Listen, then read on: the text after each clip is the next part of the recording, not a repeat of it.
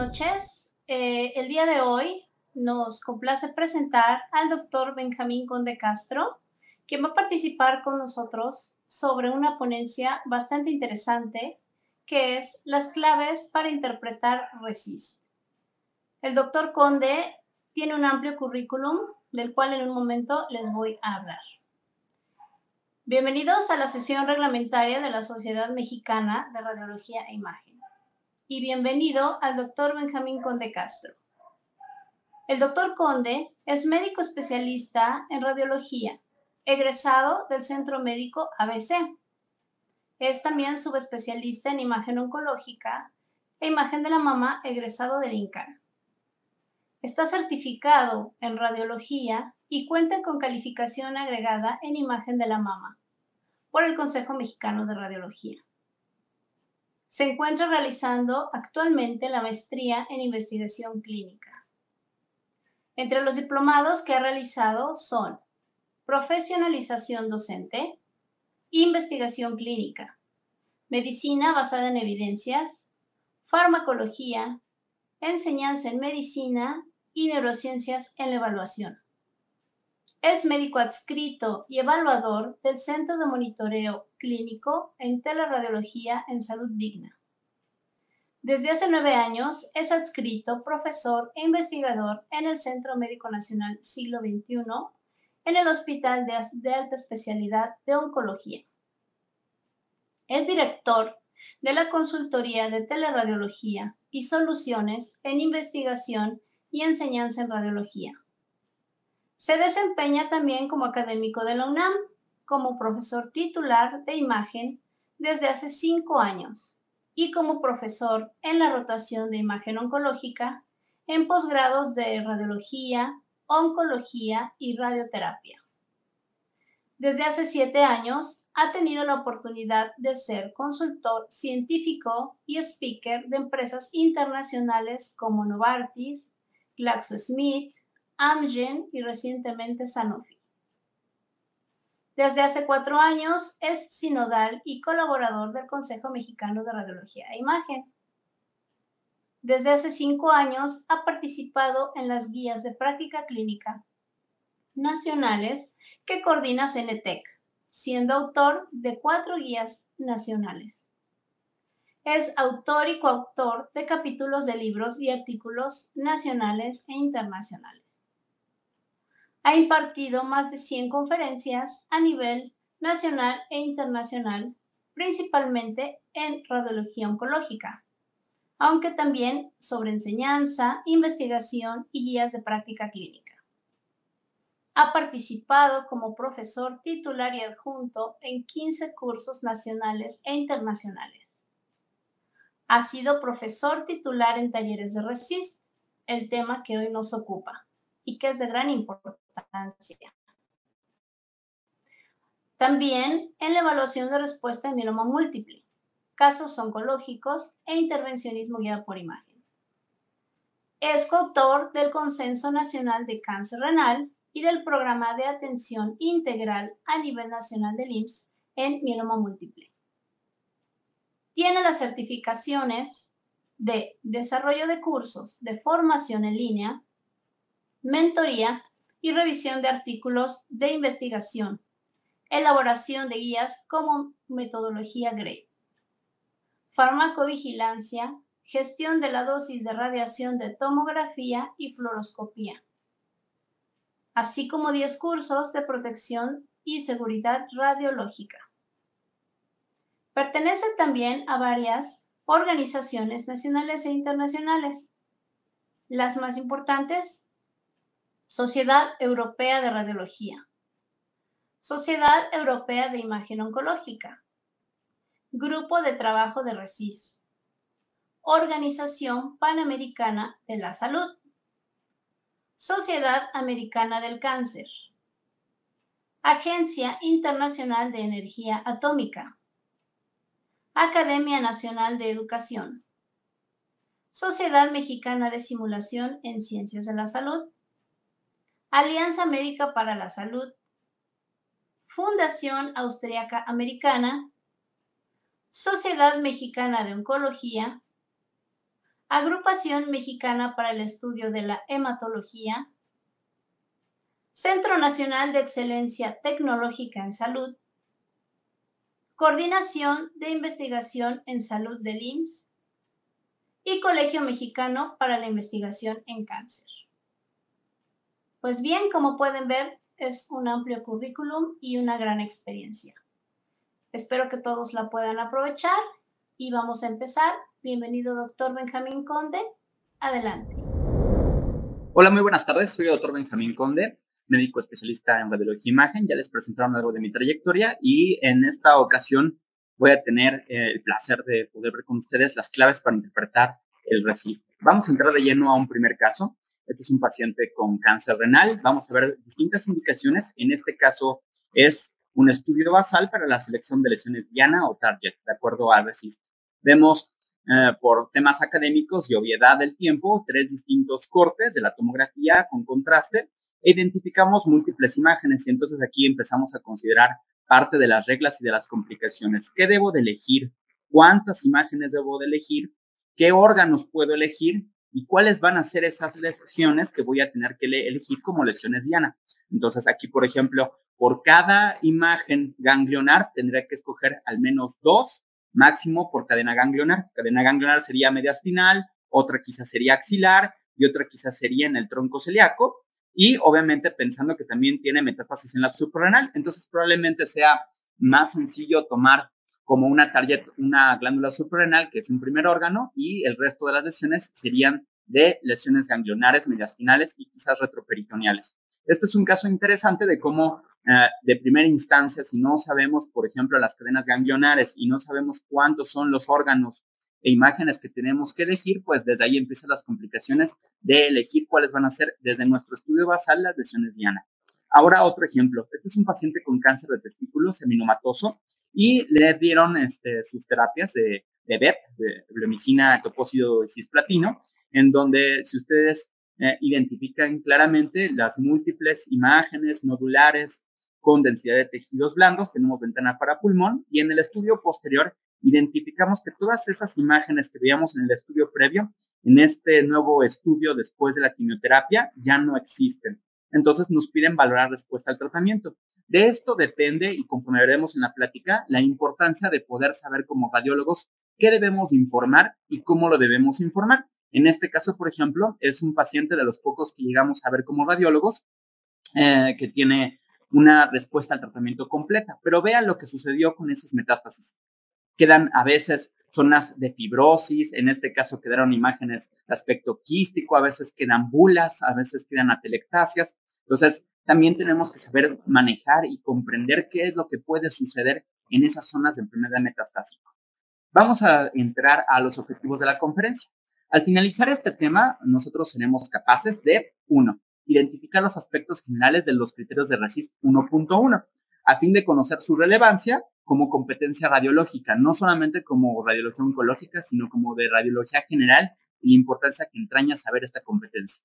Dos, comprender los criterios de RESIST 1.1, que hasta la fecha son los vigentes, para implementarlos adecuadamente en las interpretaciones obviamente oncológicas. Y tres, distinguir algunas herramientas útiles que les voy a ofrecer para conseguir el aprendizaje continuo y que pues todos sabemos que esta clase son pocos minutos para poder integrar todo lo que uno debe de saber y que obviamente siguen existiendo actualizaciones y es necesario seguirnos actualizando y para esto es la última, la tercera parte de la conferencia. Aquí rápidamente eh, solamente les dejo uh, mis contactos. Este es mi correo y este es el LinkedIn en donde pueden eh, ustedes ya sea mandarme un correo directo o ya sea a través de Google también eh, pueden contactarse. La idea es que al finalizar, si ustedes tienen alguna duda, necesitan integrar algún un proyecto que los apoye en la asistencia de una tesis, de una investigación o cualquier otra instancia que quizás no esté relacionada totalmente con Resist, y que veamos durante la plática que pues tengo algunas ah, ah, competencias ligadas a mis motivos intrínsecos de lo que quiero seguir investigando y enseñando, pues con muchísimo gusto estoy a sus órdenes. Ah, como saben, la plática, a diferencia de otras pláticas que solemos dar como radiólogos, en esta ocasión quedarán grabadas en la página de YouTube por, eh, por lo menos a dos semanas después, pero ahorita que es en vivo y en streaming, pues vamos a tener algunas características que a lo mejor avanzar más rápido y en algunas otras vamos a tratar de integrar algunos casos que sean de forma dinámica, que ustedes ya, eh, ya sea que lo quieran ver en otra formalidad como YouTube, que esté ya de manera grabada, pues pueden pausar y continuar o en caso de que necesiten regresar a alguna tabla o algo, pueden eh, regresar a alguna de las, de las plantillas o de las diapositivas. La utilidad de los estudios de imagen en oncología las podemos dividir en varias, pero múltiples bibliografías e incluso la Asociación Europea de Imagen Oncológica y también la ACR los pueden definir y los definen constantemente en estas cinco eh, competencias que ilustran aquellas competencias radiológicas que están asociadas a imagen oncológica, en el cual nosotros como radiólogos necesitamos caracterizar, a veces incluso es necesario distinguir entre benignidad y malignidad, estadificar acorde a los distintos planos, de, acorde a las distintas reglas, a veces de acuerdo al TNM y la vigencia de cada uno de ellos.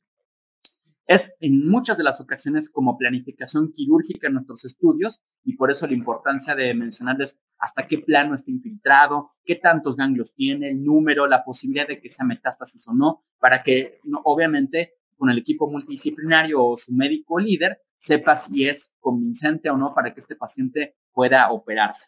La cuarta es control de respuesta al tratamiento, lo cual atañe esta plática y lo veremos eh, no, no muchas de las herramientas y aterrizaremos específicamente en RESIS.1. Y la quinta como vigilancia. Veremos que no solamente cuando un paciente se le sigue dando un tratamiento, sino cuando incluso ya terminó o el paciente solamente tiene algo paliativo, ese paciente continúa en vigilancia y muchas de las ocasiones necesita que como radiólogos observemos su historia natural de la enfermedad, en este caso oncológica y metastásica, para poder predecir cuáles van a ser las comorbilidades y también poder ofrecerle en muchas de las ocasiones una mejor calidad de vida en lo que sigue. La utilidad de los criterios de RESIST eh, se basa en los criterios de evaluación de respuesta en tumores sólidos. Entonces, la definición empieza a mencionar algunas cosas. Es para evaluar respuesta, por lo tanto, es únicamente en aquellos pacientes que están recibiendo tratamiento y para tumores sólidos. Y por lo tanto, con estas dos definiciones veremos varias cosas. Como muchos otros conjuntos de normas, como por ejemplo el BRATS, el TRATS y otros RATS que se han ofrecido a través de la ACR y otras instituciones y sociedades, en este caso es un conjunto de normas también que permiten evaluar de forma objetiva la respuesta tumoral, especialmente en pacientes oncológicos. No se utiliza en aquellos pacientes que, por ejemplo, tienen comportamiento de tumores que, aunque sean metastásicos, son benignos, como por ejemplo la endometriosis. Para ese tipo de estudios no entran los criterios racistas, a pesar de que los se pueden utilizar, pero para fines quizás más académicos o ilustrativos o incluso de investigación, más que algo que tenga o que atañe a la práctica clínica. Uh, la segunda es que es un lenguaje común que posibilita comparar, replicar y analizar los diferentes tipos de ensayos. Es decir, en un primer inicio, estos, estos reglamentos, estas normas se hicieron especialmente para los ensayos clínicos. Con el tiempo, conforme ha pasado los años, nos hemos encontrado a través de los distintos metaanálisis y estudios que se han correlacionado y corroborado a través de RESIST y el grupo de RESIST, que es importante en nuestra práctica clínica continua de nosotros como radiólogos ofrecer estos criterios no solamente a los pacientes que están dentro de un ensayo, sino también para aquellos pacientes que están recibiendo algún tratamiento. Es decir, en una primera instancia se utilizó para diferentes ensayos clínicos, para investigación. Actualmente son necesarios, forzosos, y en la mayoría de las veces su médico oncólogo que manda como interconsultante a los pacientes oncológicos con ustedes, les va a exigir de alguna manera que les provea por lo menos de los criterios de resistencia. Y es una estandarización entre médicos, radiólogos, interconsultantes, pero también entre otros profesionistas de la salud, como cuáles ingenieros, uh, ingenieros de imagen, uh, técnicos, incluso también incluyen investigadores, incluso incluyen también oncólogos clínicos. Muchos de los oncólogos quirúrgicos también saben los criterios de RESIST. Entonces, no solamente son radiólogos, son incluso otros profesionistas de la salud. Para entrar en detalle y sin hablar de tanta historia, veremos que la publicación del primer RESIST se, se utilizó, se realizó a través de 6.000 pacientes. Se contabilizaron 18.000 lesiones aproximadamente, las cuales fueron medidas, y fue en el año 2000. Aquí vemos cuáles fueron las tres asociaciones o sociedades que intervinieron para su formación del primer estudio de RESIST, en el cual podemos ver claramente que incluye principalmente la Asociación Europea de Investigación y Tratamiento para el Cáncer, pero también está la Asociación Americana, que es la estadounidense, para la investigación del cáncer y también la canadiense. Entonces, estas tres asociaciones fueron las que formaron en un principio los criterios de RESIST y actualmente son también las tres principales sociedades e instituciones que formulan la gran mayoría cantidad de investigación de ensayos que tienen relación con las patologías oncológicas. Hay otras asociaciones que no entran o no utilizan RESIST, pero la gran mayoría lo utiliza porque a través de esto es como se acepta o no, por ejemplo, tratamientos a través de la Unión Europea o a través de la FDA. Los antecedentes y avances. Los primeros criterios que existieron fueron a través de unos criterios de la OMS, los cuales surgieron a partir de 1979. Si ustedes ven la fecha, ya podrán notar que en ese entonces todavía no existía PET-CT y resonancia en la mayoría de los países del mundo. Y lo que se ofrecía era a través de rayos X y en muy pocas tomografías y con tomografías de muy baja calidad o con un grosor de corte muy grueso. Conforme pasó el tiempo, fue necesario darse cuenta y con también conforme avanzó la tecnología y por lo tanto también la cantidad de tratamientos oncológicos que se pueden ofrecer para los pacientes, ha hecho que sea necesario intervenir para saber si los pacientes se les está ofreciendo adecuadamente un tratamiento que funcione y sea útil para poder disminuir la, uh, la, cantidad de meses en las que progresa o incluso en algunos casos específicos tratarlo totalmente. Entonces vemos que el primer RESIS surgió en el 2000. Sin embargo, para el 2009 ya había surgido múltiples tratamientos oncológicos, entre ellos incluso de terapia blanco, que vamos a ver a qué se refiere, algunos tratamientos inmunomoduladores que surgieron después, pero en especial en el 2009 ya existía el PCT y la TAC y fue por lo tanto que fue necesario volver a juntar en metaanálisis una gran cantidad de pacientes por temas que corresponden a, la plática y que yo quiero ver más casos que más eh, antecedentes, veremos únicamente que el RESIS 1.1, su última actualización, a partir del 2009 hubo una en el 2016. Ahora, justo los temas que voy a mencionar a partir de las claves importantes que les voy a explicar, son parte de estas actualizaciones, pero también actualizaciones que han surgido en varios artículos. Entonces, les comento, soy parte del grupo de, grupo de Resist.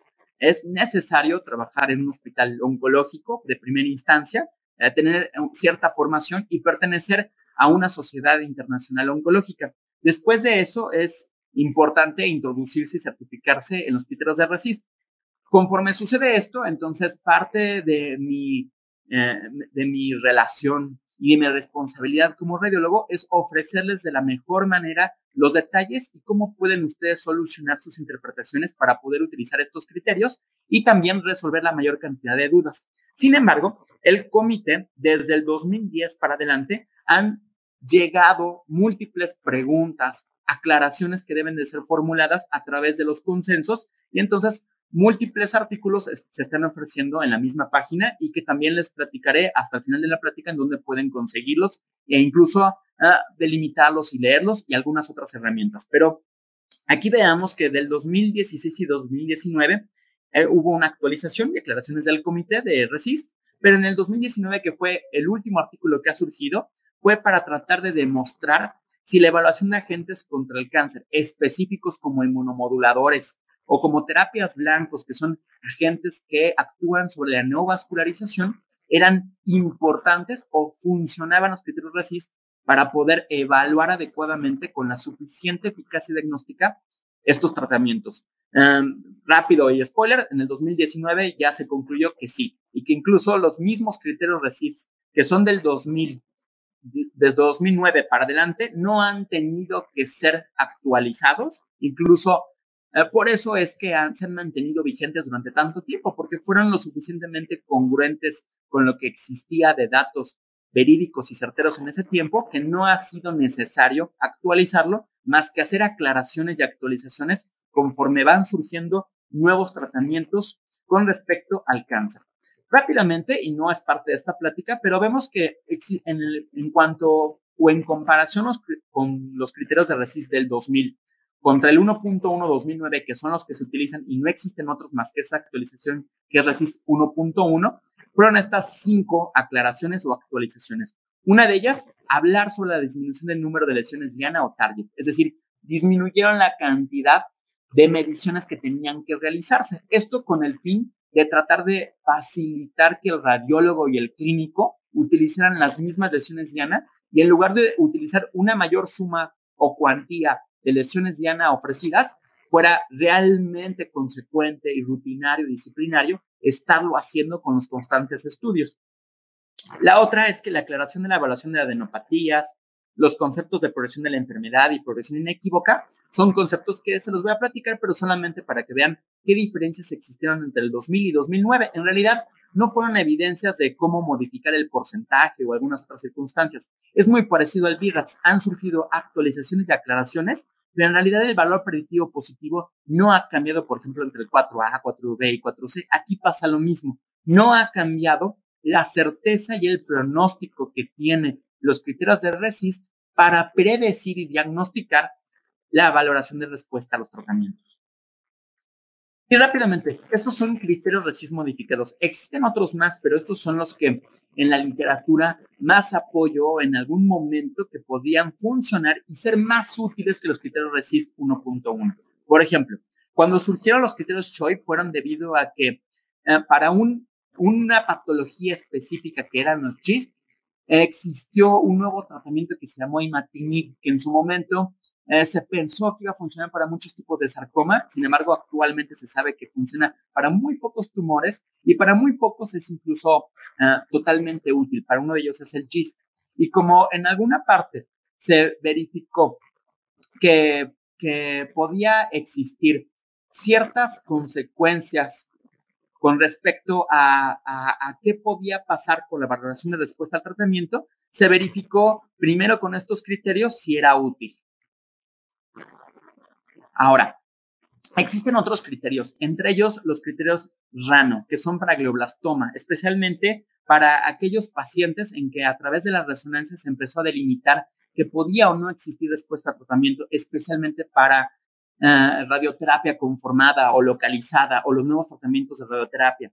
En cuanto a otros tumores, por ejemplo, para hepatocarcinoma, existieron distintos evaluaciones de respuesta al tratamiento en donde lo que se evalúa es también qué tanta densidad o qué tanto real se tiene el tumor y en qué tanto porcentaje lo tiene con respecto a las metástasis. Lo mismo sucede con los criterios tipo más, que si se dan cuenta es el acrónimo en cuanto a morfología, atenuación, es decir, la densidad, el tamaño, pero también la estructura. Es decir, también aquí lo que se evalúa es qué tanto real se existe en relación con el pasado estudio, más incluso, y tiene un peso igual de importante que el solamente tamaño que es para los criterios de RESIST.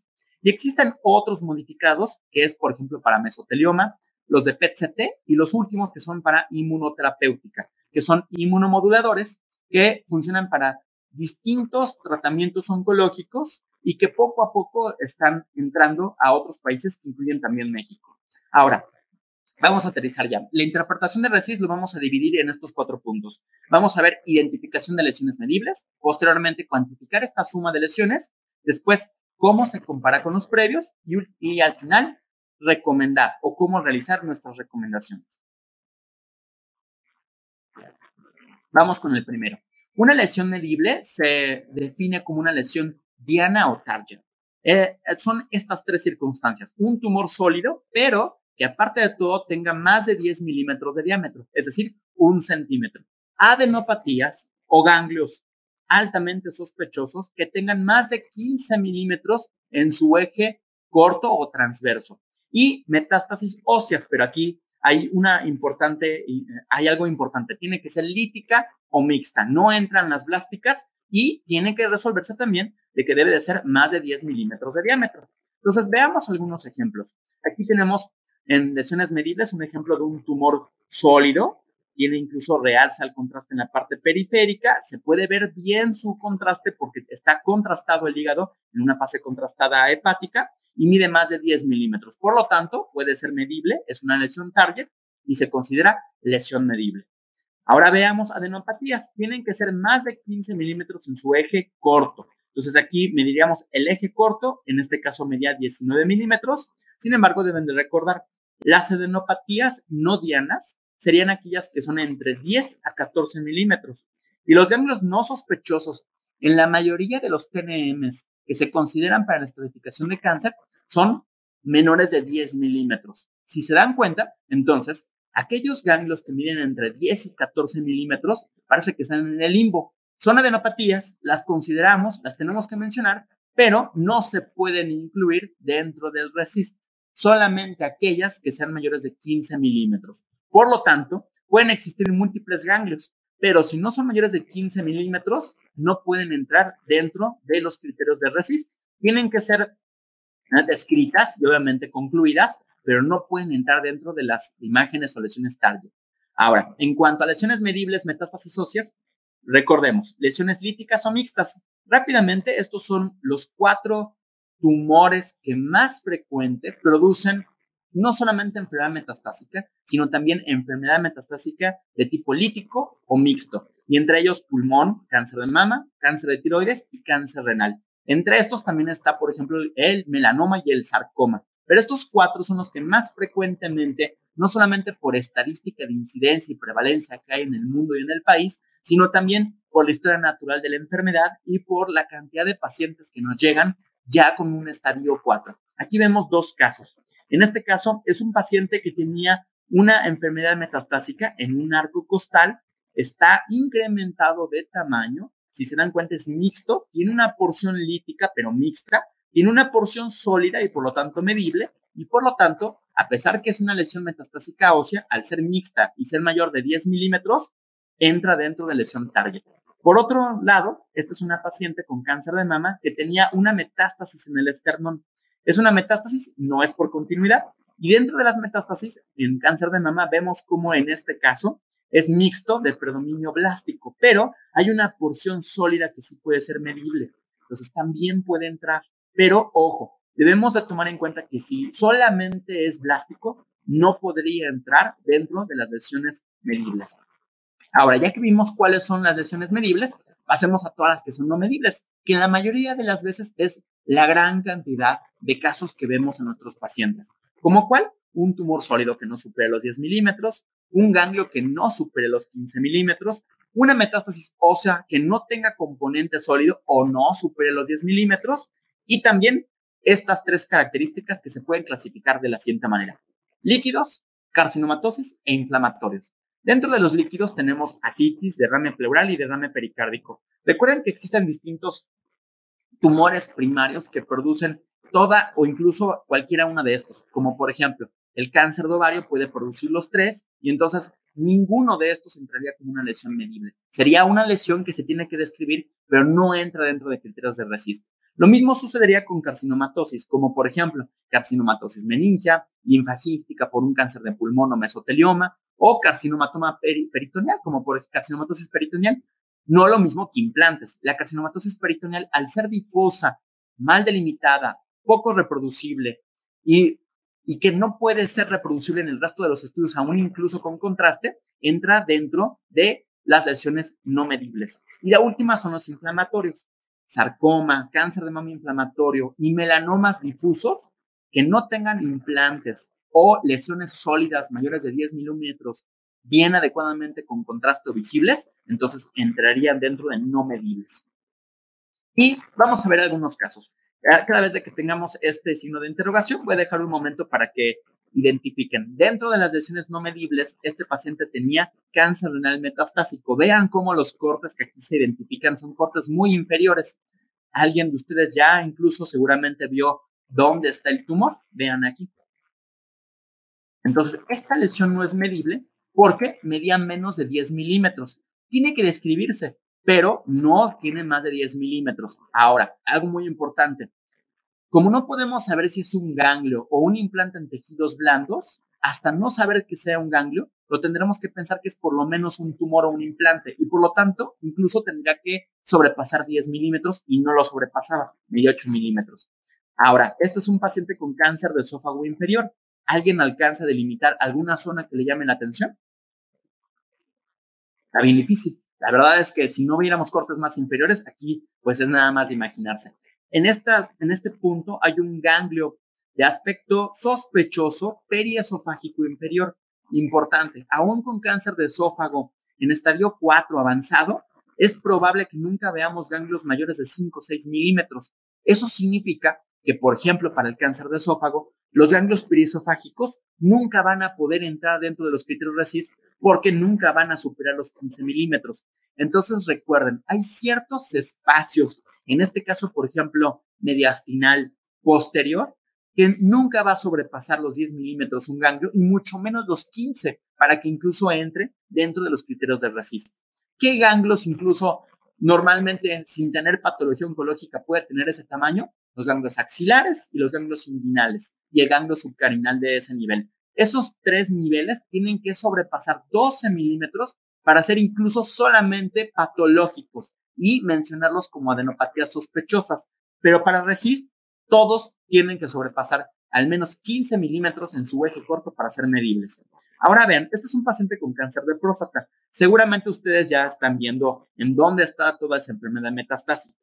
Si ustedes, por ejemplo, un urólogo o un médico residente o alguien que no está tan asociado, por ejemplo, un urólogo no oncólogo, con los criterios RESIS les mencionara, necesito que me midas las lesiones. Ustedes les dirán, bueno, pero es que es blástico y hacer blástico esta, independientemente de que se observe en, este, en esta escena, en este corte, es muy probable que con o sin tratamiento siempre se va a mantener difuso de la misma manera. Por eso es que se delimitó y se aclaró que para RESIST las lesiones plásticas no aporta el medirlas, porque es muy difícil que por tomografía e incluso por resonancia podamos dilucidar si lo que estamos observando es actividad metastásica o un tumor o una fibrosis residual por un tratamiento.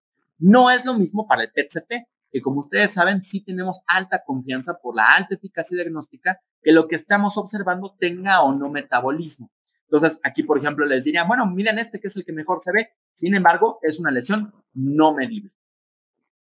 Ahora, ¿alguien aquí ve una lesión no medible? Es una paciente con cáncer de mama, que el truco está un poco difícil porque clínicamente mencionaba que tenía dolor al respirar, dolor intercostal, y vemos cómo tiene esta enfermedad metastásica de aspecto expansivo y lítico, pero que sin embargo la porción sólida no supera tampoco los 10 milímetros. Entonces, a pesar de que está bien delimitada, se observa y clínicamente produce dolor, no puede entrar dentro de los criterios de RESIST. Ahora vemos en este caso, es un paciente con mesotelioma. Vemos los múltiples engrosamientos que tiene pleurales, derrame pleural, una telectasia, pero aparte de todo, en ocasiones les pueden decir ciertos radiólogos o incluso interconsultantes que les midan el derrame pericárdico. El derrame pericárdico tiene que ser medido y un grosor mayor de 10 milímetros siempre tiene que ser referido. Y más porque a veces es indistinguible, o más bien no se puede distinguir por tomografía y en muy pocas ocasiones por resonancia, se puede saber si lo que estamos observando es afectación tumoral mesotelial en la pleura o en, este caso en el, en el pericardio, o es producido o asociado por la restricción que tiene el paciente en la angiogénesis o es ocasionado en algunas circunstancias por la misma quimioterapia que se les está otorgando a los pacientes. Entonces, ojo, es muy complejo. En alguna de las veces se tiene que hacer punción para poder delimitar las células y para poder saber si lo que estamos identificando es afectación metastásica o no. Sin embargo, hasta demostrar lo contrario se tiene que medir, pero es una lesión no medible. Aquí vemos una imagen de ultrasonido en donde se ve el importante derrame pericárdico y obviamente aquí dinámicamente se puede medir el mayor grosor, por tomografía siempre se mide el mayor grosor de declive, que sería en esta zona.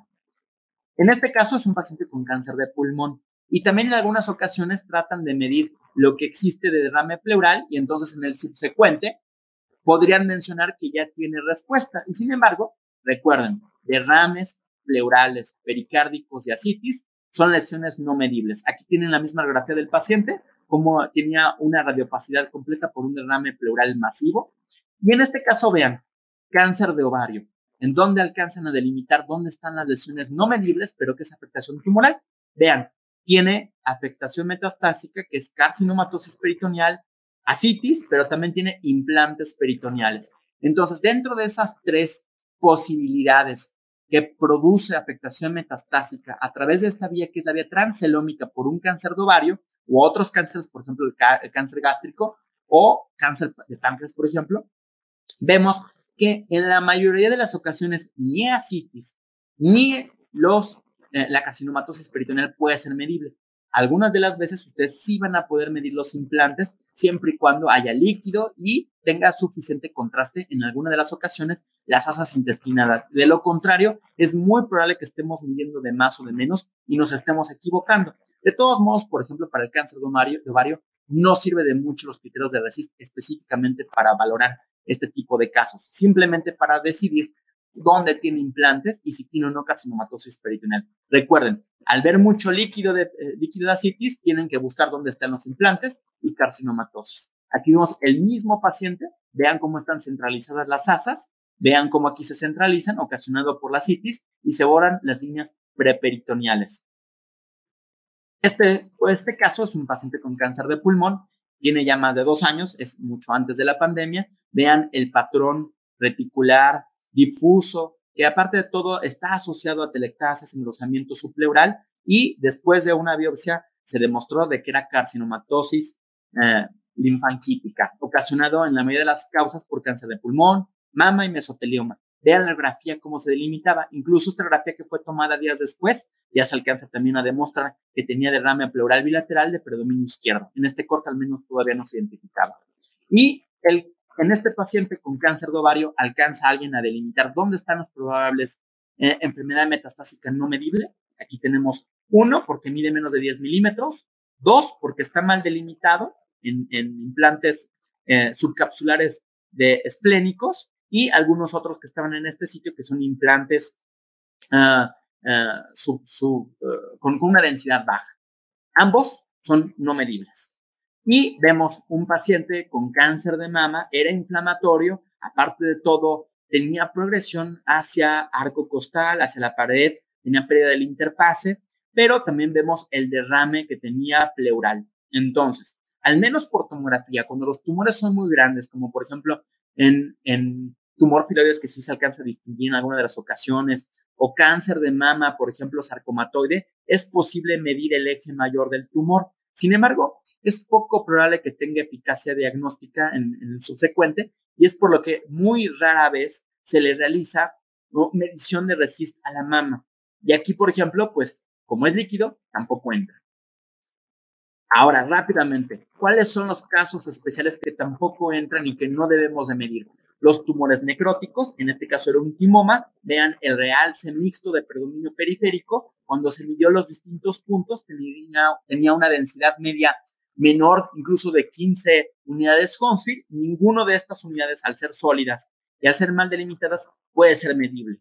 Entonces, tampoco puede medirse tumores necróticos. Cambios por tratamiento previo. Aquí vean, este paciente se le hizo quimioablación en una metástasis por cáncer del recto y vean en la subsecuente cómo está. Es un error frecuente que nosotros si medimos esto como una lesión target, en el subsecuente queramos medir lo mismo, cuando se sabe actualmente que es indistinguible y no podemos saber más que con estudios específicos como PET resonancia con múltiples secuencias, si lo que estamos observando aquí, qué porciones incluye afectación tumoral o actividad metastásica. En este caso, dentro de RESIST, después de que tienen un tratamiento previo con quimioablación o en este caso quirúrgico, no pueden entrar. Este paciente es ¿eh? un tumor mediastinal por células germinales, quirúrgicamente lo resecan, entonces es un error que a veces sucede, yo lo mediría de aquí a acá y en el subsecuente lo mide de aquí a acá y digo, tuvo una respuesta parcial o casi completa. El problema es que no entra porque fue tratado quirúrgicamente.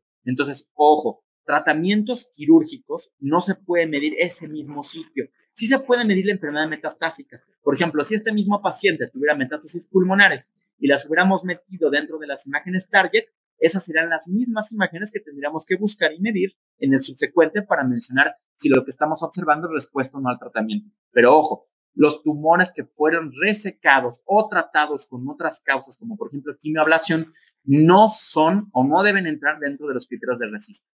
Segundo punto, cuantificar la suma de lesiones. Entonces, aquí es donde se facilitó más entre el RESIST y el RESIST 1.1. Vean, es un paciente con cáncer renal. Tienen algunos segundos para poder delimitar toda la afectación metastásica que tiene y así es como generalmente nos toca interpretarlo. Y entonces, al, al, ver tantas imágenes, no sabemos por dónde empezar. Tips, entonces, primero pueden empezar por el primario. Sin embargo, deben de recordar que es muy probable que en el subsecuente estudio ya tengan nefrectomía, así como los pacientes que se les realiza mastectomía, prostatectomía.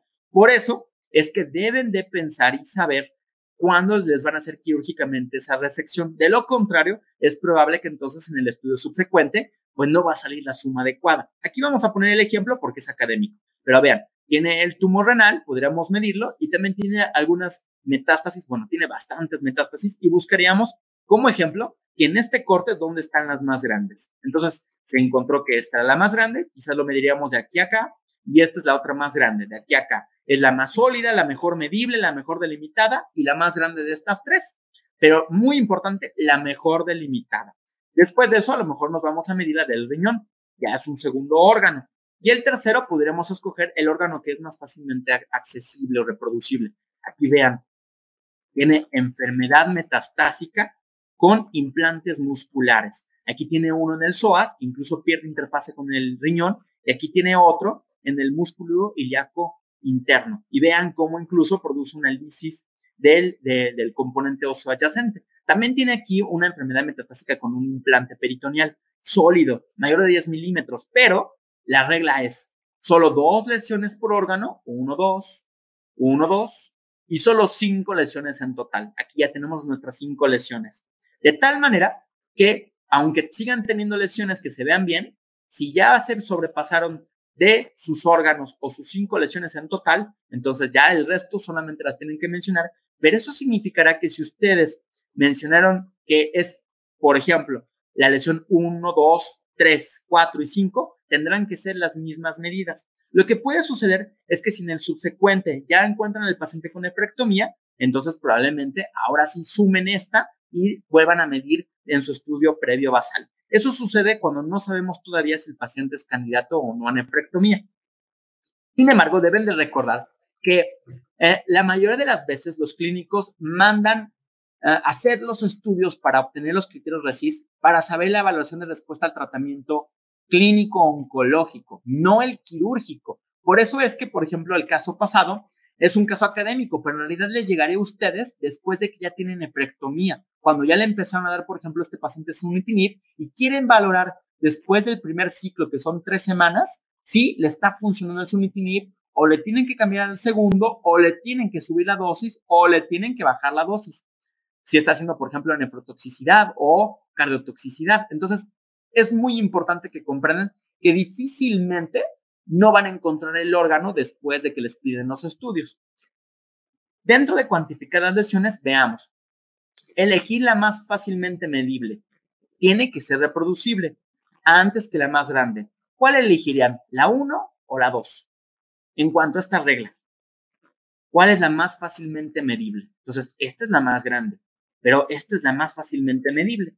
Entonces, yo elegiría esta. Y seguramente los que eh, se llevaron a cabo este estudio y le dieron seguimiento, eligieron esta, sabiendo que este tumor es muy probable que, por ejemplo, en el subsecuente, al no estar quizás distendido, distinto distendido el estómago, ya no se va a ver semejante. Y no va a significar de que tenga tratamiento, que tenga respuesta o no al tratamiento, sino que los tumores que envuelven o son parte de una víscera hueca, es muy poco probable que tenga factibilidad de reproducibilidad, es decir, que en el estudio subsecuente se vea similar. En cambio, el ganglio va a seguir igual, incluso independientemente de que se trombose la vena cava adyacente, ese ganglio muy difícilmente va a modificar su forma y su tamaño. Ahora, cuantificar lesiones. Seleccionar lesiones aisladas y bien definidas. ¿Cuál escogerían? ¿La imagen 1 o la imagen 2? Cada vez que vean estos casos, es el mismo paciente, pero son distintas, distintos tumores los que eligieron. En este caso, elegirían este. ¿Por qué? Porque está aislado. En este caso, lo más probable es que este tumor está más grande, pero si se dan cuenta está mal delimitado y lo más probable es que en el estudio subsecuente no se ve igual y se pueda fragmentar o inclusive esta lesión se pegue más con esta y entonces ustedes estén sumando dos lesiones distintas que no son la suma. En cambio aquí vean, este no es de los no es el mayor, pero está bien delimitado, reproducible, una mayor cantidad de sólida a diferencia de esto y por eso se escogió esta lesión. Entonces, recordar, tratar de buscar las aisladas y bien definidas, especialmente para, para el órgano que es el hígado. Para el pulmón, a menos de que sean muchas, pues van a, a tender a juntarse. En cuanto a esta regla, intentar no seleccionar tejido normal entre el tumor. ¿Cuál elegirían? ¿La medición del 1 o la medición del 2? Eligió la medición del 2. ¿Por qué? Porque si ustedes eligen de aquí a acá, en realidad es muy probable que este tumor sean dos realmente. Entonces, este tumor aquí se mide de aquí a acá y de aquí a acá, y es muy probable que en el subsecuente se vea muy semejante o incluso se pegue, pero puedan todavía delimitar dónde acababa antes el tumor. De lo contrario, es posible que entonces en el subsecuente estudio ustedes les cueste mucho trabajo medir.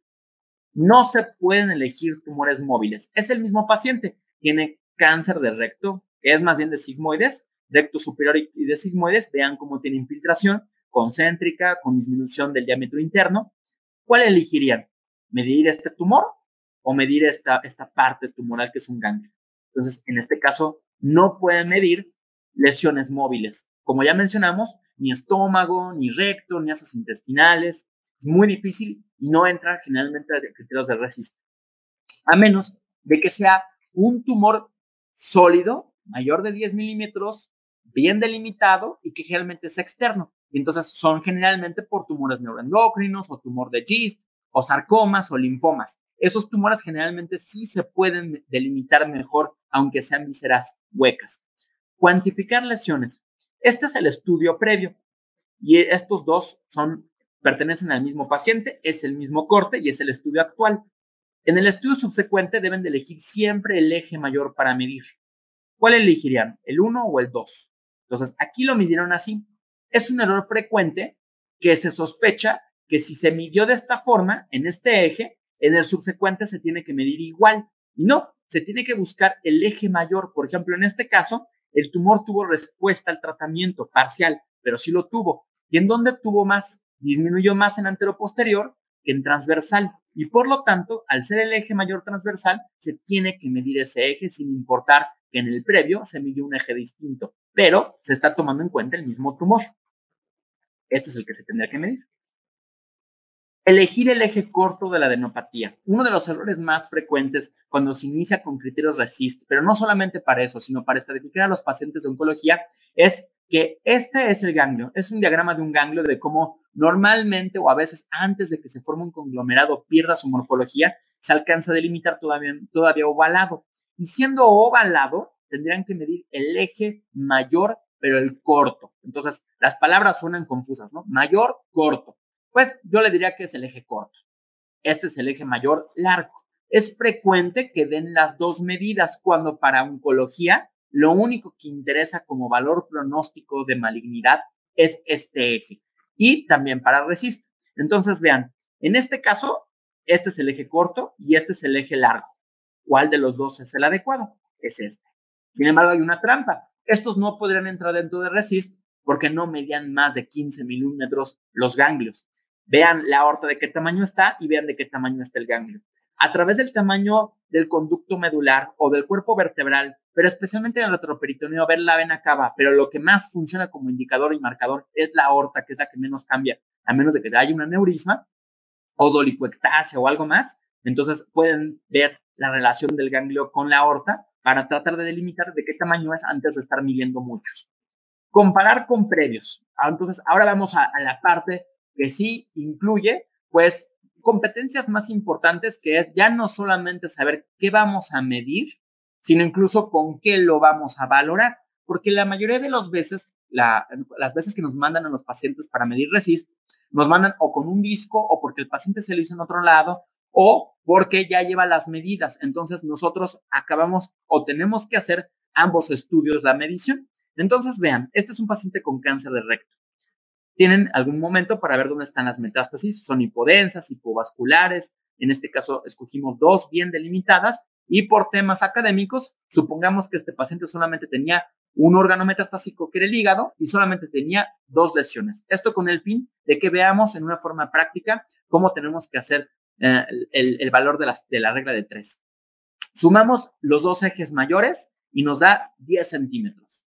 Este caso me gusta porque da 10 exactos para no perderse en la parte, en la parte de proporciones. Y en el estudio actual, ese mismo paciente regresa y esa lesión midió 3.3 y la otra midió 2.7. Es decir, lesión 1, lesión 2. Se vuelven a medir y la suma, en este caso, midió 6 centímetros. Entonces, siempre recuerden que tienen que ser las mismas medidas centímetros con centímetros. De lo contrario, traten de cambiar a milímetros. Yo les recomiendo que sean siempre en centímetros porque por lo menos tiene que medir 15 o 1.5 centímetros y que no lo hagan en milímetros. ¿Por qué? Porque lo van a tener que convertir por 100. El estudio actual, que es 6, 6 centímetros, lo multiplican por 100, que es el porcentaje completo, y lo dividen entre el estudio previo, que son 10 centímetros. Y les va a, les va a salir que es el 60%. Es decir, estos 6 centímetros es el 60% de estos 10 centímetros. Es muy claro porque son 10 y este es 6. O sea, lo hice exactamente para no perdernos entre la confusión del porcentaje. Entonces sabemos que este tumor ya disminuyó. Cuando le disminuimos 100 menos el 60%, tenemos un 40%. Es decir, entre el estudio previo y el estudio actual, hubo una respuesta parcial porque disminuyó 40%. El tumor tuvo respuesta parcial el paciente. Ahora vemos, veamos el, el ejemplo, pero al revés. O sea, no al revés, perdón, sino para que vean cómo en este caso lo que hicimos fue restarle del 100% restarle el 60 que teníamos aquí para que nos saliera cuánto había disminuido. Esto es cuando sabemos que disminuyó. Pero cuando incrementa, ¿qué hacemos? Es una regla muy semejante. Aquí vemos, es un paciente con cáncer gástrico. Nuevamente, por términos de, académicos, eh, suponemos que aquí tiene dos, dos tumores metastásicos hipovasculares hipodensos en el hígado y que en este caso tenía este tumor grandísimo, mal delimitado, pero que aquí lo medimos. Y aparte de todo, tenía una metástasis en el, en el riñón. En el estudio actual se vuelven a buscar eh, nuevamente los, las metástasis. En este caso, ambos, ambas del hígado, ambos del, del, del aparato gástrico y la del riñón. Y aquí ya colocamos todas las mediciones. Lo pueden apuntar en un papel y tendrán algo así. El estudio basal, que es el primero, las dos lesiones del hígado, ¿cuánto midieron? Luego la lesión del, riñón, ¿cuánto midió? Y la adenopatía retroperitoneal, también cuánto midió. Aquí hay un truco. Aquí en realidad este no debe haber entrado, ¿no? Porque medía menos de 15 milímetros, pero vamos a dejarlo pasar para que vean cómo se hace la suma. La suma total del estudio basal dio esto, 25.5. Y en el estudio, después de que le dieron quimioterapia, hicimos la medición de las mismas sumas y nos dio 28.9. ¿Qué es lo que va a suceder? Vean, 28.9 centímetros equivalió a 113%. Es decir, de 100 para 13 incrementó un 13%. Aquí nada más es al revés, que de 100 le quitamos el 13% y nos queda el, el, el, 113% y nos queda el 13%. Esto va a corresponder a enfermedad estable. Y es igual, es una regla de 3. Es 28.9% entre el previo 25.5 25 y nos sale el incremento del 13%. Aquí ya no tienes que hacer ninguna resta, aquí vemos que sí incrementó. Vean como de 25 incrementó a 28 y eso corresponde a 13%. Como no incrementó más del 20, entonces entra dentro todavía de enfermedad estable. Si no lo hubiéramos hecho de forma objetiva, este tipo de pacientes son los que a ojo de buen cubero dicen progresó, cuando en realidad todavía está dentro de enfermedad estable y entonces tiene un pronóstico adecuado el paciente de incluso sobrevivir más de 5 años. Ahora, las categorías de conclusión, que es algo que probablemente no solo tienen que aprender, pero que tienen que saber dónde encontrarlo. La respuesta completa es que exista una desaparición de todas las lesiones diana, como el caso que les enseñé de, la enfermedad metastásica del seminoma en el pulmón, pero también deben de recordar que las adenopatías, los ganglios, se deben de reducir por debajo de 10. Nunca van a implotar y desaparecer por completo. Se considera respuesta completa cuando disminuyan por debajo de 10 milímetros. Entonces, ojo, aquí empiezan a ver un detalle de cuál es una desventaja del resist.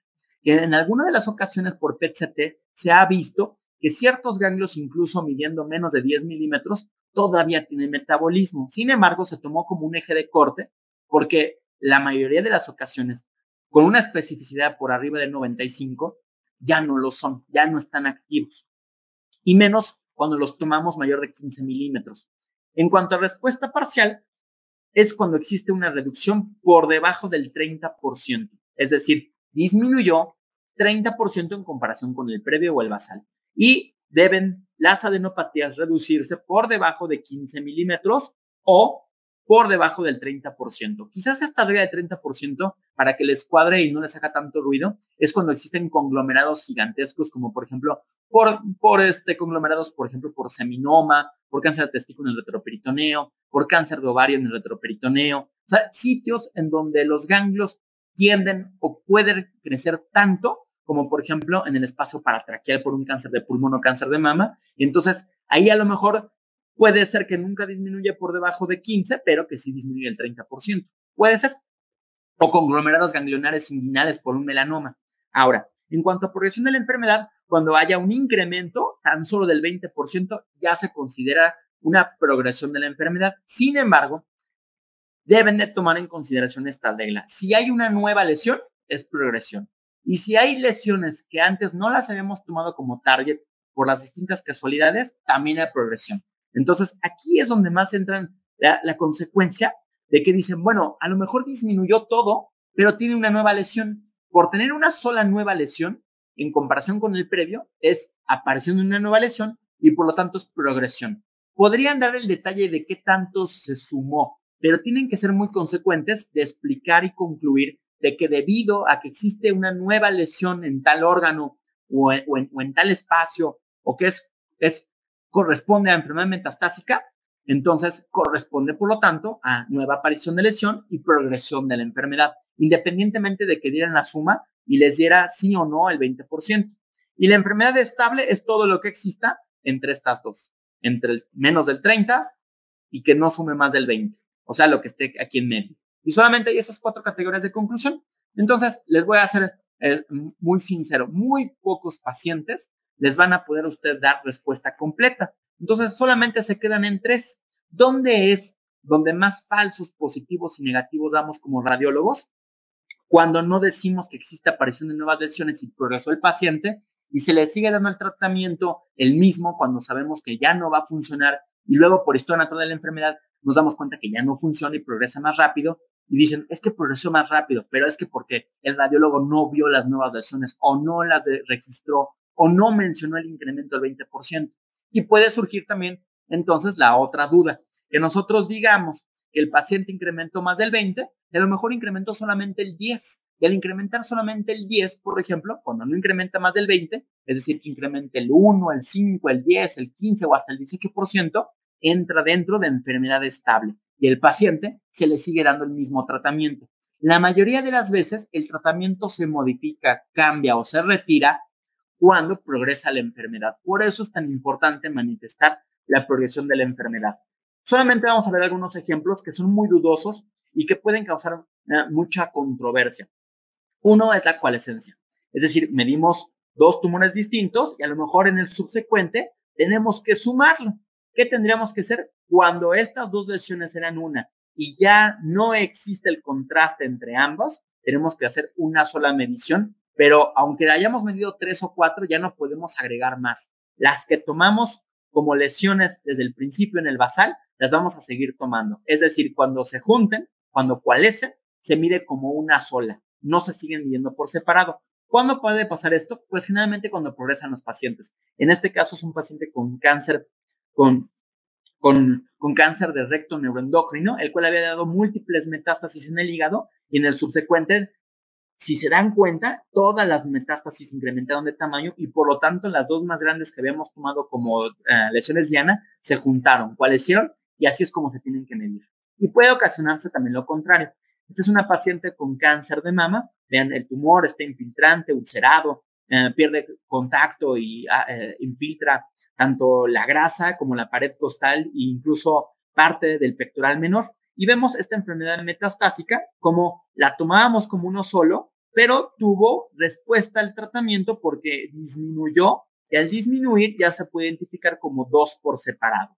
En este caso se fragmenta y se tienen que tomar las medidas los dos por separado. Y la última y quizás la más rara, cuando se cavita. Ciertos tumores asociados más frecuente epidermoides, por ejemplo, por cáncer, ah, por cáncer gástrico, por cáncer de esófago o bucal, al dar metástasis, se ha registrado que produce una mayor cantidad, no tan significativa, pero sí una mayor cantidad en relación con el adenocarcinoma. Y las metástasis que da pueden cavitarse. Recuerden, una lesión cavitada no necesariamente era metastásica, puede ser también tuberculosis, pueden ser otro tipo de infecciones, pueden ser abscesos, entonces hay que tener cuidado con sospechar que cuando se cavita una lesión que pensábamos que era metástasis, no todo es metástasis. En este caso se biopsió, fue metástasis, y vemos como en el subsecuente, a pesar de que parece que tuvo respuesta al tratamiento porque disminuye la parte sólida, en RESIST se tiene que medir igual, es decir, la línea puede pasar por donde está la porción cavitada. Y la más difícil y que a veces incluso a mí eh, me dificulta es progresión inequívoca, que es incremento de las lesiones no diana. En este caso tenemos múltiples ganglios retroperitoneales y en el subsecuente incrementaron de tamaño. Ni en el previo ni en el actual son lo suficientemente grandes, entre paréntesis más de 15 milímetros como ganglios, para tomarse en cuenta como lesión diana. Sin embargo, vemos que están creciendo y que crecen no solo uno, sino todas. Eso se llama progresión inequívoca. Y si aparte de todo hubiera una nueva lesión, pues ya no hay duda. Es progresión inequívoca por incremento del tamaño de lesiones no diana, más la progresión por una lesión nueva. Ya solamente por eso es progresión. Y la última parte de la interpretación de RESIST, recomendar. Recuerden que nosotros, como médicos especialistas, también fungimos en gran proporción en enseñar, investigar, recomendar y sugerir en parte de nuestros protocolos, nuestro adiestramiento y obviamente nuestras interpretaciones. Entonces, les voy a, eh, dentro de todas las aclaraciones que se formaron en Resist en casi cinco años, estas fueron las cinco, las seis aclaraciones que más frecuente preguntaron o nos dimos cuenta que existían tanto falsos positivos como negativos. Veamos, la primera es tratar de replicar la técnica fase ventana del estudio. Es decir, si en el estudio previo tenía contraste y era en una, en una fase, por ejemplo, portal o arterial, en el subsecuente vamos a intentar que tenga el mismo contraste o al menos las mismas fases, porque es probable que si un tumor es hipervascular, por ejemplo, neuroendocrino, y tenga metástasis hepáticas, tengamos que medirlas en la misma fase para estar seguros que lo que estamos midiendo es objetivo y estandarizado. Por otra parte, las metástasis pulmonares, medirlas a través de la ventana pulmonar y no medirlas en el subsecuente, a lo mejor con otra ventana. Entonces, medir con la misma ventana, misma fase y la misma técnica. Misma técnica se refiere a dos cosas, tanto a la modalidad, es decir, no se puede comparar una tomografía contra un estudio previo de resonancia, ni viceversa. No se puede hacer eso. Y la segunda, no se puede eh, tan fácil integrar o diferenciar y comparar un estudio de tomografía con cortes gruesos de 5 milímetros contra a lo mejor una tomografía de un milímetro por un milímetro. Entonces, obviamente se va a ver mejor mientras más fino sea.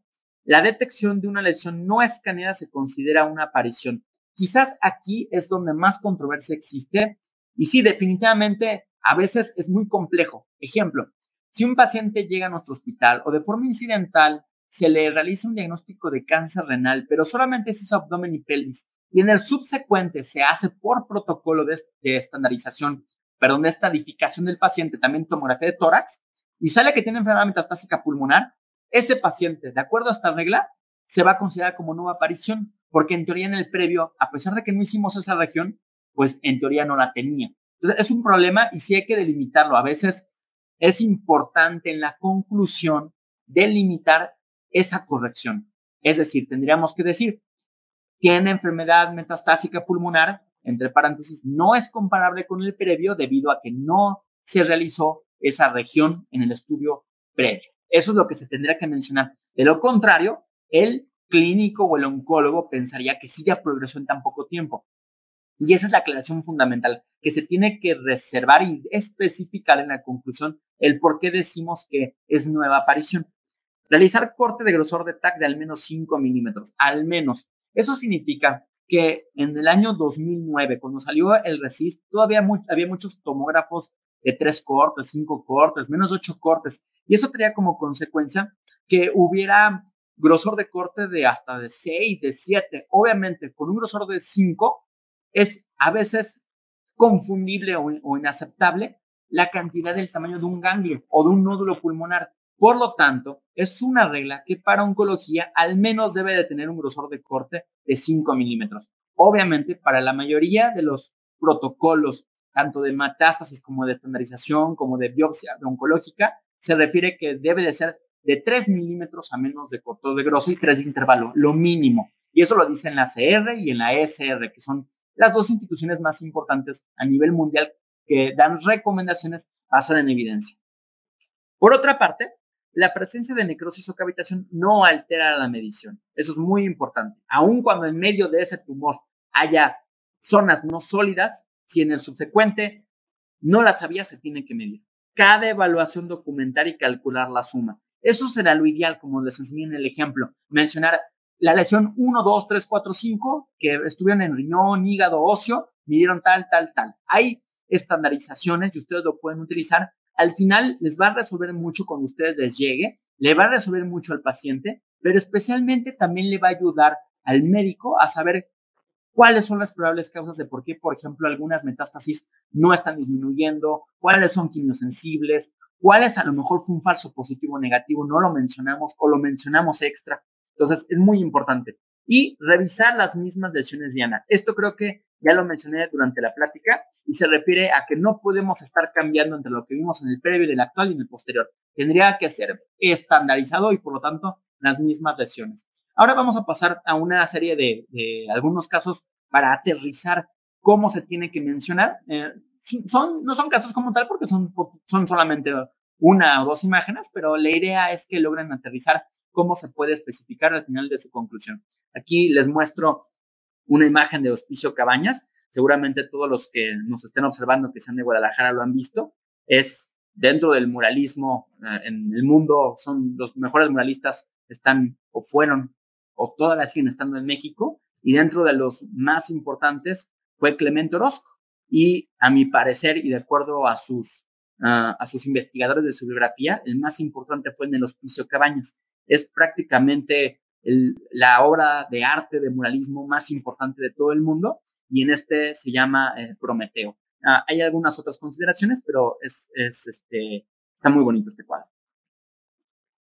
Y ahora sí, recordemos, criterios resist y pueden tomarle foto, pueden tenerlo a la mano o simplemente poner resist 1.1, por ejemplo, radiopaed y les va a salir automáticamente por si se les olvida cuánto es el porcentaje o la suma o el ganglio, pero la idea es que lo tengan a la mano cuando lo necesiten. Entonces vamos a hacer algunos casos dinámicos y la idea es que tengan aquí la tabla para que no solo aprendan de memoria, sino que la idea es analizar. Este es un paciente, este va a ser el estudio previo y estos van a ser los estudios actuales.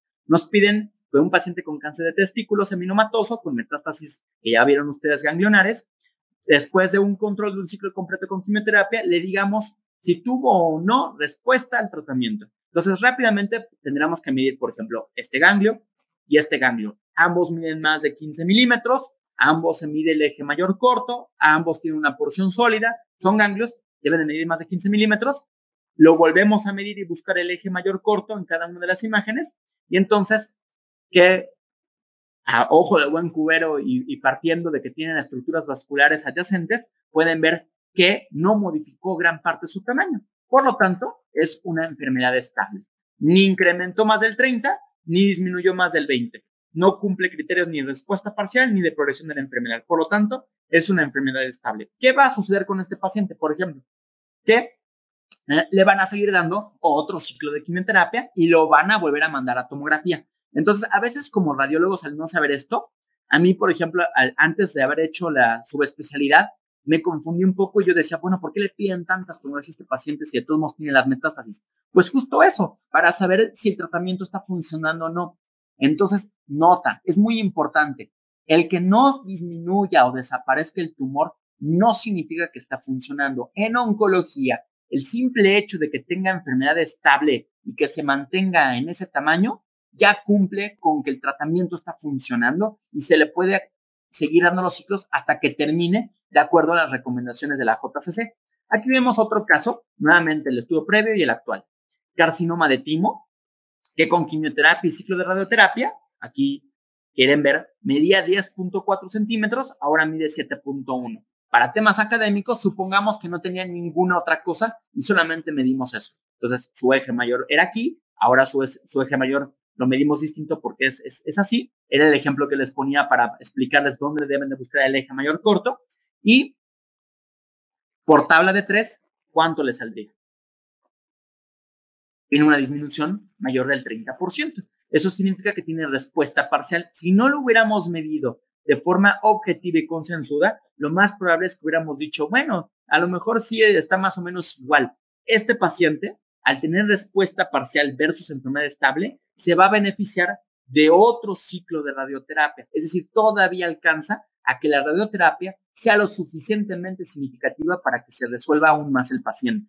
Y se le llama en esos casos, por ejemplo, radioterapia de consolidación. En pocas palabras, puede acabar ya su ciclo, pero si el paciente presentó cierta respuesta o al menos enfermedad estable, se le puede dar todavía otro tratamiento de consolidación, dependiendo obviamente del estirpe, el órgano, el estadio y otras cosas. Aquí vemos un paciente con cáncer renal y eh, el paciente después de esto se le hizo un seguimiento, le estaban dando ya sunitinib, que es un tratamiento de terapia blanco que se utiliza para estos criterios, los criterios más, pero actualmente se sabe que son igual de eficientes.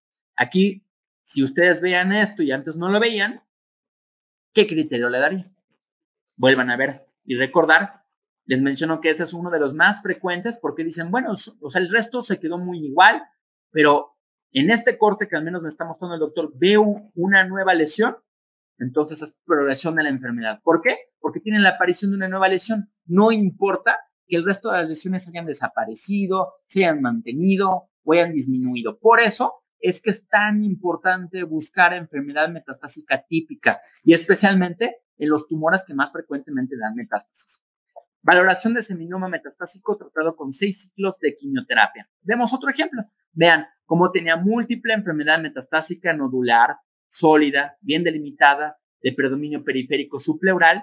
Y en el estudio subsecuente, después de que, de que terminó sus seis ciclos de quimioterapia, quieren saber si van o pueden darle más ciclos y cómo ven a este paciente.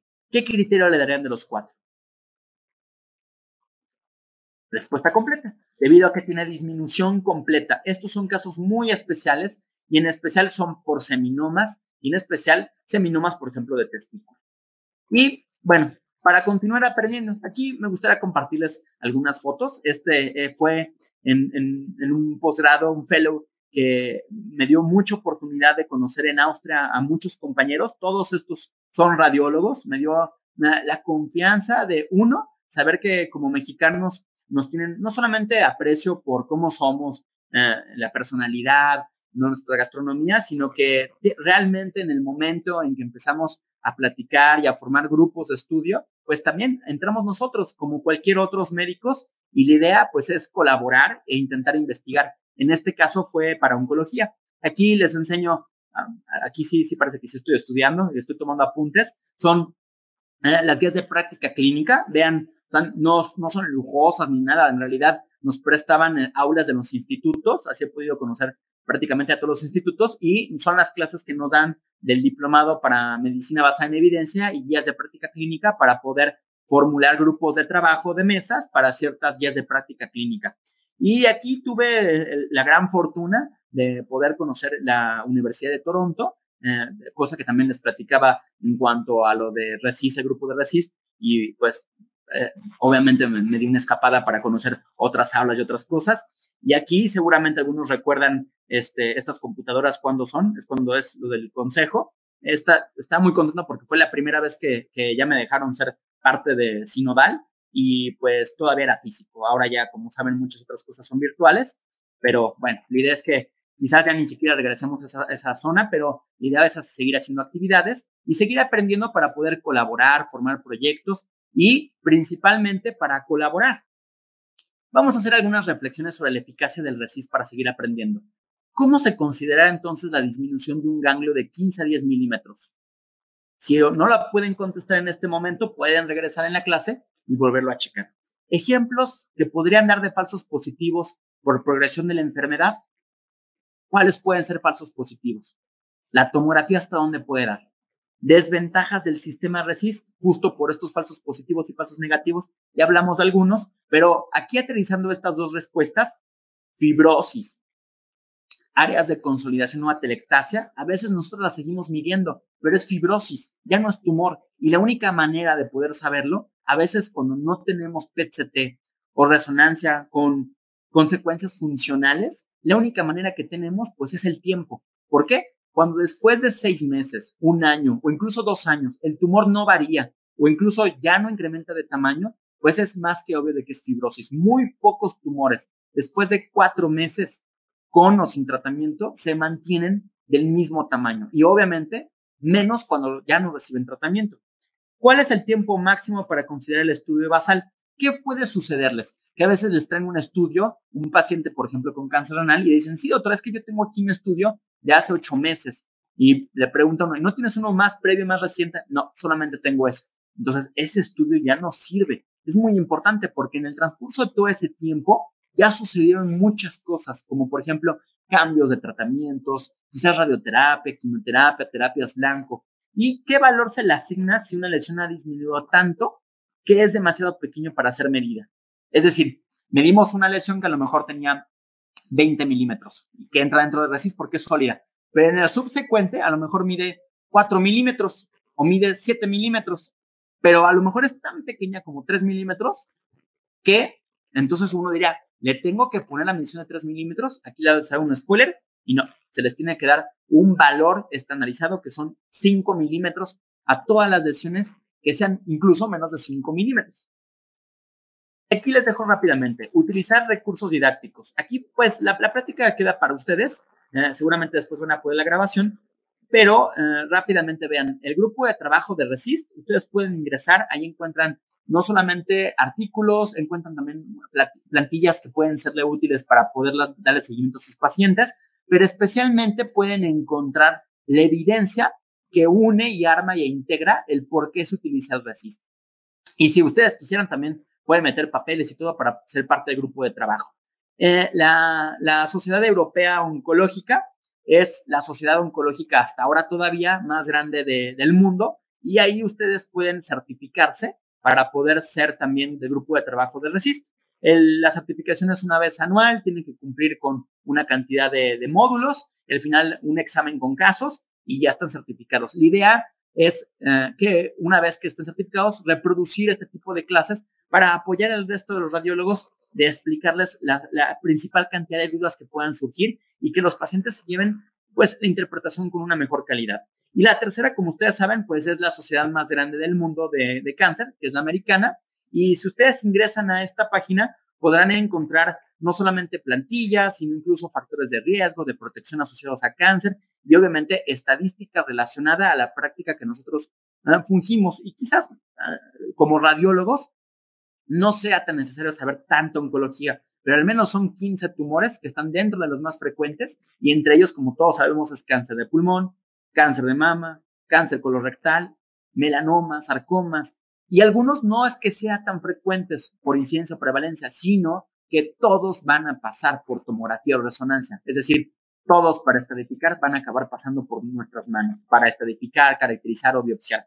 Eh, normalmente en mis pláticas no me gusta eh, ocupar tanto espacio abajo de referencias bibliográficas, pero ah, teniendo en mente de que ustedes quisieran tomar apuntes o saber más acerca de alguna parte específica, vean cómo estos son todos los artículos de donde saqué todas eh, las, claves y las conclusiones y los detalles más, más, más, más importantes que se nos pasa como radiólogos. Son múltiples artículos, algunos artículos son de revisión, la mayoría que están ingresados gratuitos en la página de Resist, los pueden ustedes ver ahí directo en la página de Resist y pueden eh, delimitar ya sea para, para una, académicamente para una sesión en, en su grupo, eh, ustedes si tienen alguna duda de cómo manejarlo, si utilizan algunas otras modalidades como resonancia PET-CT, o incluso si ya tienen una duda muy específica, con muchísimo gusto yo quedo también a, la orden. Y quizás lo más, dentro de lo más importante que debe de quedar bien integrado cuando se dan este tipo de conferencias es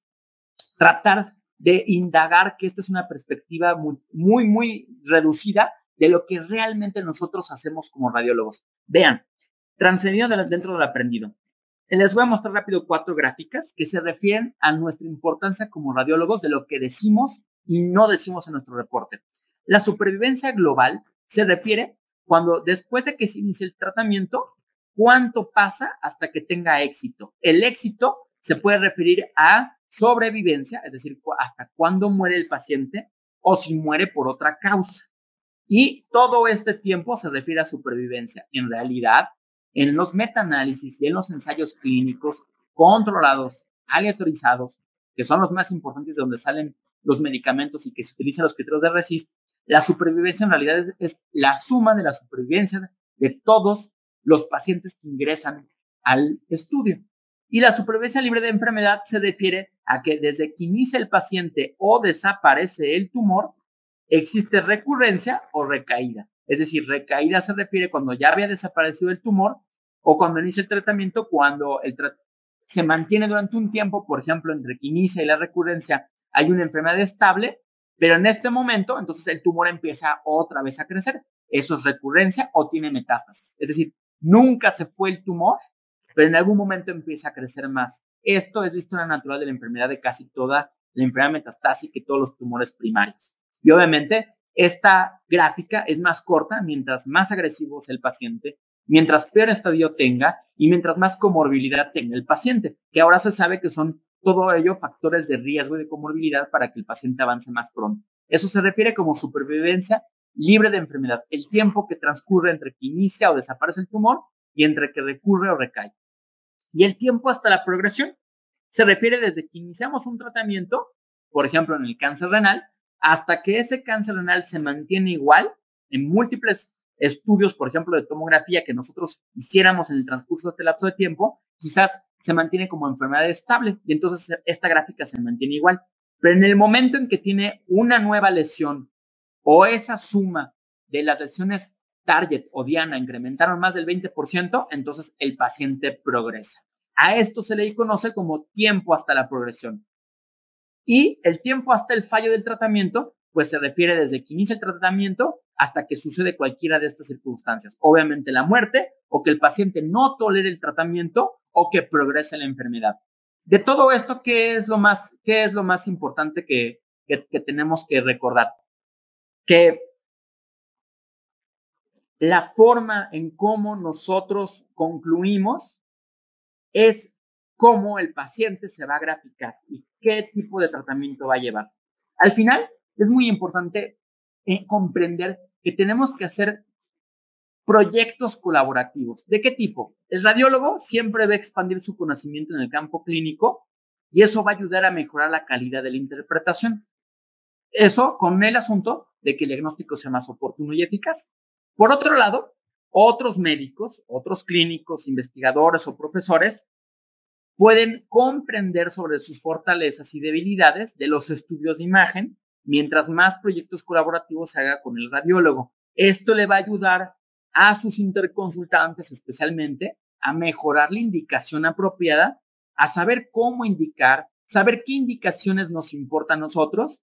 Y esto, obviamente, la manera en que nosotros trabajemos de manera conjunta y colaborativa, tanto en proyectos de investigación académicos, pero obviamente la parte más importante clínica, pues el paciente va a tener un diagnóstico oportuno, eficaz y preciso.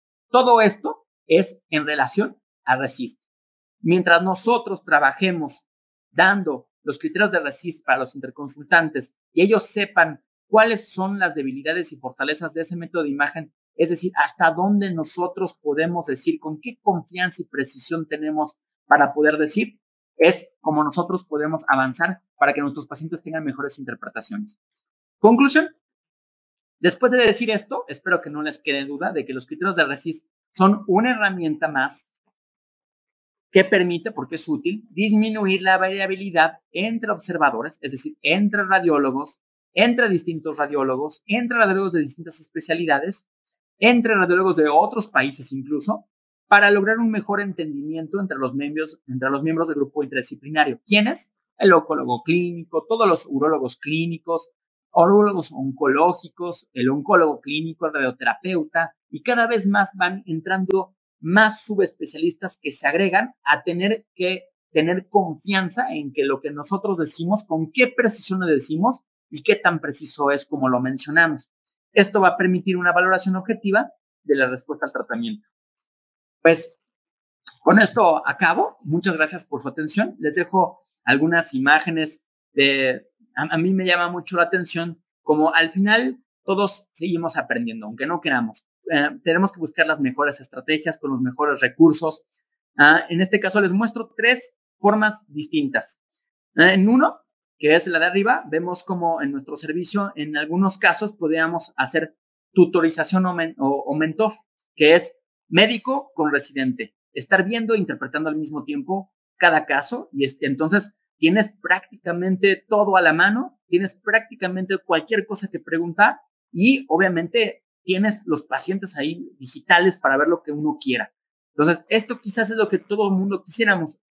Yo, igual que seguramente muchos de ustedes, tuvimos en rotaciones en los hospitales donde hicimos nuestra residencia, quizás en la mayoría de las veces, y, con mucha suerte, la posibilidad de sentarnos con grandes ahora amigos, profesionistas, también aprender de los que no queríamos aprender, se puede aprender algo, pero esta es otra forma, donde un mismo doctor ve un caso y hay lluvia de ideas, hay diagnósticos diferenciales y se hace un solo grupo de trabajo con respecto a un médico.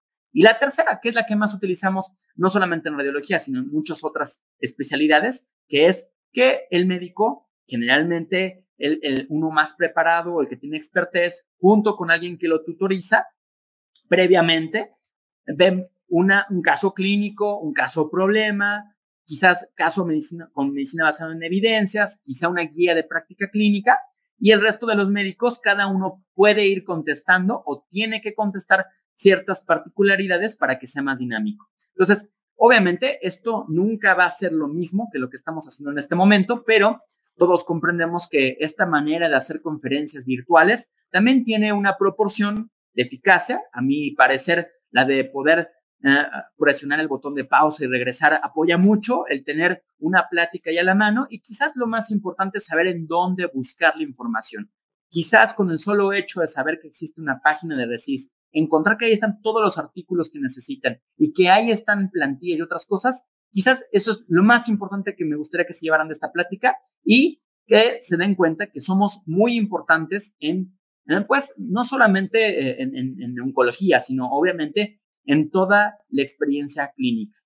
Y finalmente, para terminar, me gustaría compartirles que, pues, todo esto que, que se hace con una gran pasión que es la docencia, la enseñanza, la gestión de la investigación en la enseñanza, pues nació desde que iba seguramente muchísimo antes de la facultad, pero aquí fue el primer diplomado que hice sobre profesionalización docente de la enseñanza médica y pues por fortuna también en ese mismo curso pues conocí a, a mi esposa y pues gracias a eso uno puede estar más feliz, más alegre, puede hacer este tipo de proyectos y obviamente eh, en, la mano de ella y poder tener también eh, toda su expertise que ella tiene como también maestría en ciencias en docencia y en otras especificaciones que incluye evaluación, que incluye competencias, que incluye eh, pues una gran experiencia en todo esto, pues también apoyarse nuevamente de manera colaborativa con otros expertos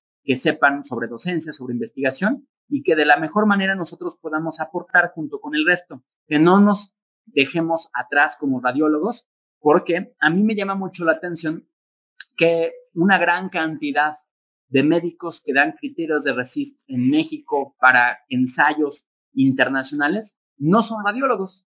Entonces, es muy interesante. Deberíamos y sería necesario que fuéramos radiólogos los que estuviéramos dando a través de medios digitales con nuestra firma, con nuestra autorización, las mediciones de la forma más objetiva y con la expertez sabiendo la radiología oncológica y las múltiples competencias que son necesarias y entre ellos estandarizar y saber otro tipo de cosas oncológicas. Nuevamente aquí dejo mis, datos, espero que uh, pues es, es, en vivo, hasta en streaming, pero si, si, si tienen la oportunidad o, o necesidad de ver algún tema específico, quizás en este momento de Resist, con muchísimo gusto quedo pendiente. Uh, seguramente les van a hacer llegar una encuesta por si tienen alguna, alguna gana este, de, de poder retroalimentar. Pero independientemente de eso, yo en las distintas conferencias, en donde más me he enriquecido es con todas las preguntas que ustedes me hacen y también a través de eso eh, yo he podido de alguna manera hacer más proyectos colaborativos porque pues esto llega a todo el país, a veces tengo proyectos con otros países y uno sigue aprendiendo y al final en la manera en la que, en la que uno enriquece a otra persona se enriquece a sí mismo. Quedo a su disposición si es necesario ah, alguna pregunta, respuesta, si necesitan alguna sugerencia, comentario, apoyo para alguna investigación, quizás incluso hasta para una tesis, con muchísimo gusto queda mi correo y eso es todo. Les agradezco muchísimo su atención y muchas gracias nuevamente a la Sociedad Mexicana de Radiología e Imagen. Uh, el primer curso que yo asistí siendo, siendo incluso antes de ser residente de radiología fue en uno de la sociedad y es para mí un gran, un gran placer eh, poder haber eh, de una forma oportuna y, invitado a, a este tipo de conferencias. Muchísimas gracias y que tengan muy buenas noches.